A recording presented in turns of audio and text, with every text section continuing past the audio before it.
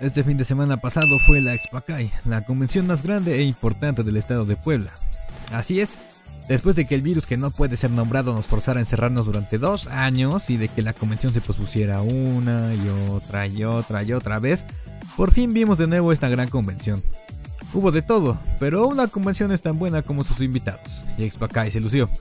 Trajo a varios de los actores principales del elenco de Boku no Hero Academia o My Hero Academia para los cuates. Específicamente a Héctor Mena, la voz de Midoriya Shonen, protagonista de My Hero Academia, pero son las películas, o sea, el doblaje bien hecho.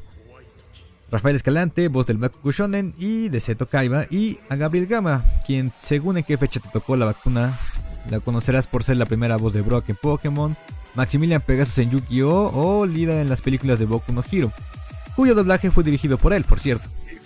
Durante su participación en el evento no solo se dedicaron a verse bonitos en el escenario, también se dedicaron a participar con el público a través de distintas dinámicas, que variaban de actor a actor, además de su respectiva firma de autógrafos con su respectiva fila kilométrica. Pero los invitados no se limitaban a actores de voz, también hubo muchas cosplayers invitadas que, aunque no se subieron al escenario, estuvieron tomándose fotos y dando detallitos en sus respectivos stands. Destacando sobre todo Punk Macaroni, que de un rato para acá se ha vuelto la sensación de internet, Claro, sin hacer menos a todas las cosplayers invitadas, cuyos cosplays estaban de 10. Por suerte también nos tomamos el tiempo de entrevistar a una por una para que puedas apreciarlas en todo su esplendor. En otro video, por supuesto, porque era noche invitada, así esta se supone que es una cápsula corta. Y ya que hablamos de cosplay, el evento estuvo lleno de gente caracterizada como sus, y probablemente también tus, personajes favoritos, disfraces que por cierto hay que mencionar estaban muy bien logrados y eran todo un deleite. Aunque no se disfrazaron solo por deporte, al menos no todos, ya que como dicta la tradición no podía faltar el concurso de cosplay, baile incluido. Claro que el evento duraba más o menos una jornada laboral, más horas de comida y no todo podía quedarse en el escenario. La Expacay contaba con varias actividades repartidas en el centro de convenciones para mantenerte entretenido.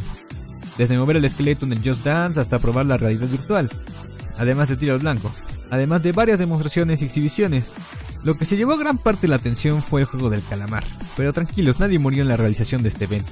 Con retos sencillos que empezaron con la búsqueda de Exoacay en un mar de palabras, la competencia siguió con varios retos, algunos sacados del programa, pero la mayoría ideados para llevarse a cabo en el espacio destinado, siendo más de habilidad que de otra cosa.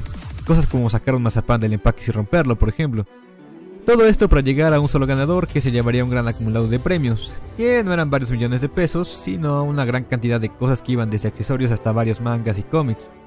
Todo como siempre con la buena vibra del público y del presentador que merece una felicitación, la verdad. Todo esto mientras podías comprar un montón de artículos de tus franquicias favoritas en los distintos puestos que había dentro de la expo, desde mangas y cómics hasta playeras o accesorios para todo outfit. Por si no quedó claro, la Expo 2021 regresó con todo lo que tenía, brindando el gran y sano ambiente de diversión que siempre han presentado. Además de los grandes invitados que desde que llegó posicionaron la Expo como la mejor convención del estado. Esperemos que la variante Omicron Persei 8 no vuelva a echar a perder las cosas, porque si lo queremos ver, son más Expo